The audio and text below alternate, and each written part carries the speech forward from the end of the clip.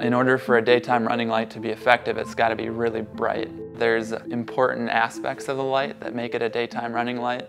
Lumens is an important part of a light, but take for instance a 60 watt light bulb and that might output 800 lumens. But if you take that light bulb and you go a long ways away, it's not going to look very bright. Whereas if you've got a laser that's really focused, it might only output one lumen, but you can see it from miles away.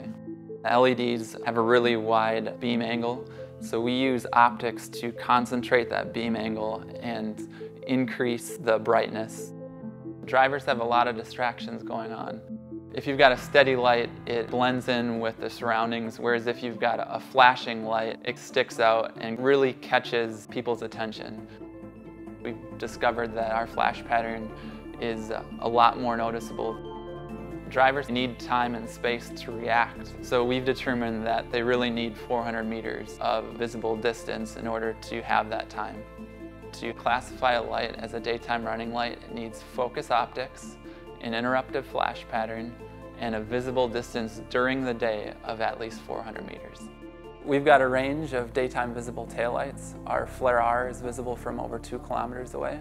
And we also have a range of daytime visible headlights. Our Ion 800R is visible from over one and a half kilometers away.